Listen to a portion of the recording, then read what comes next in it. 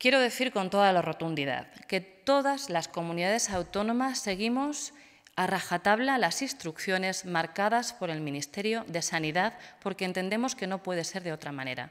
Por tanto, todas las comunidades autónomas, toda España, España en su conjunto, contabiliza, si lo podemos llamar así, los casos exactamente de la misma manera, siguiendo el protocolo y las instrucciones del Ministerio de Sanidad. Esas instrucciones se elaboran por razones científicas, sanitarias y epidemiológicas, que desde luego son exactamente las mismas, vuelvo a repetir, para todas las comunidades autónomas.